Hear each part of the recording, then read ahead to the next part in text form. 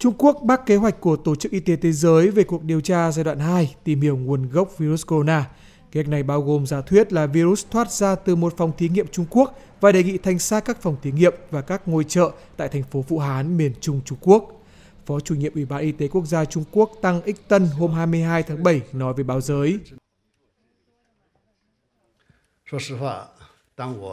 Nói Thành thật mà nói, thoạt đầu nhìn kế hoạch điều tra nguồn gốc virus corona giai đoạn 2 của WHO, tôi rất ngạc nhiên, vì trong kế hoạch này giả thuyết Trung Quốc vi phạm các tiến trình trong phòng thí nghiệm gây nên rò rỉ virus là một trong những ưu tiên nghiên cứu hàng đầu.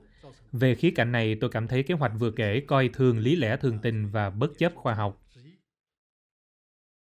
Nguồn gốc COVID vẫn là vấn đề gây tranh cãi trong giới chuyên gia.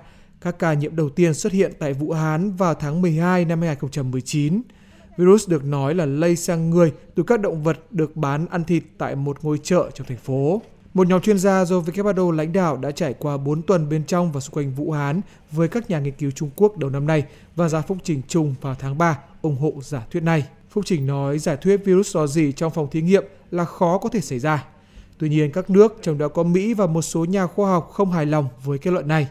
Hồi tháng 5, Tổng thống Joe Biden loan báo các cơ quan tình báo Mỹ đang theo đuổi các giả thuyết đối lập, trong đó có khả năng một vụ dò dỉ từ phòng thí nghiệm ở Trung Quốc. Phòng thí nghiệm bị nghi ngờ là Viện Virus học Vũ Hán, nơi đã tiến hành các cuộc nghiên cứu về rơi mang virus corona. Một yếu tố quan trọng trong giả thuyết virus do gì từ phòng thí nghiệm xoay quanh việc Viện Virus học Vũ Hán quyết định gỡ khỏi trang mạng các dữ liệu về mức bệnh phẩm và chu kỳ gen vào năm 2019.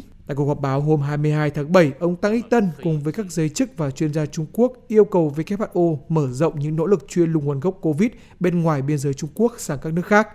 Giới chức này cũng cáo buộc WHO chính trị hóa cuộc nghiên cứu.